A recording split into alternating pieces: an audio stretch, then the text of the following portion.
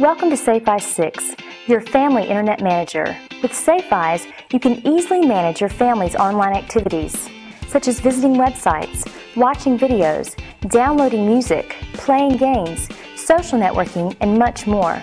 Whether you create one SafeEyes account for your entire family or an account for each family member, SafeEyes will revolutionize the way that you manage your family's online activities. While SafeEyes is designed to work out of the box for most families, our new activity-centered interface makes it easy to reconfigure SafeEyes should a change be needed.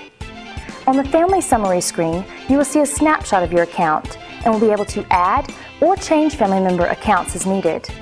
On the Activities screens, you'll be able to configure how SafeEyes manages the online activity for a specific member of your family. And finally, on the Feature screens, you'll be able to configure the time management and reporting features that are built into SafeEyes. SafeEyes 6 contains several exciting new features for protecting your family online. In the video screen, you'll be able to manage the age-based rating of television shows and movies that will be available to your family. In the music screen, SafeEyes can ensure that the songs downloaded from iTunes do not contain explicit lyrics. And when it's time to check what your family is doing online, SafeEyes provides informative activity reports by email in the Activity Reports screen. Don't forget that you can install SafeEyes on up to three computers in any combination of PC or Mac.